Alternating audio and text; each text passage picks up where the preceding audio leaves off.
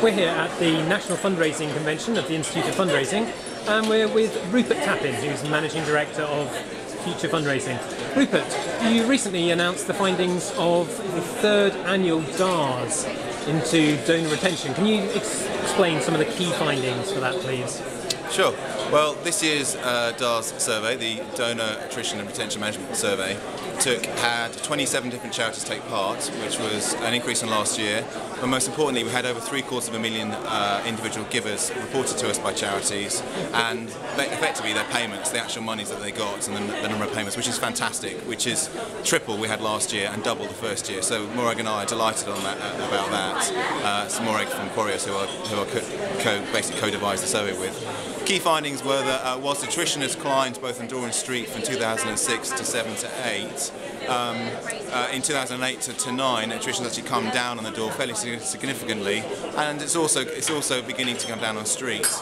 Um, the impact of the recession has had an impact on regular giving, but what we're finding from the survey of findings, from the charity's own payments, is that actually uh, the what, what the charities are doing in terms of enhanced stewardship, enhanced retention practices, uh, you know, from uh, from you know from the welcome calling to the reactivation calling, to rolling reactivation calling, to upgrading, upgrading earlier between months six to twelve rather than waiting one to two years.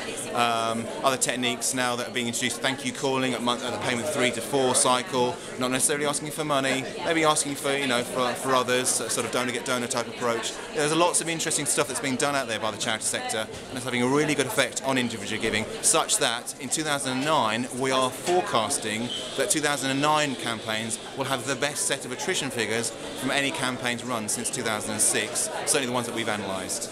That's very encouraging. And you are planning to take DARS international, I hear.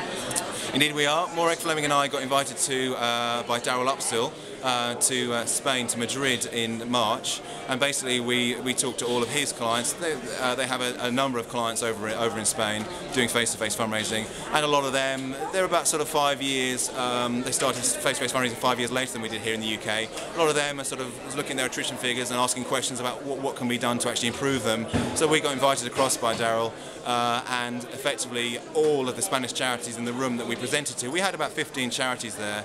Every single one of them wanted us to do a, a, DARS for Spain. So what we're doing actually this year, we'll be announcing in the next month or two's time, is an international DARS that is not only to Spanish charities, but will be open worldwide because we've had interest um, direct, directly expressed to Mick Aldridge of the PFRA from uh, uh, Australia, New Zealand, um, Canada and America as well. So we're going to have an international DARS released quite soon and we hope to be releasing the findings of that um, towards, uh, towards the autumn time of this year.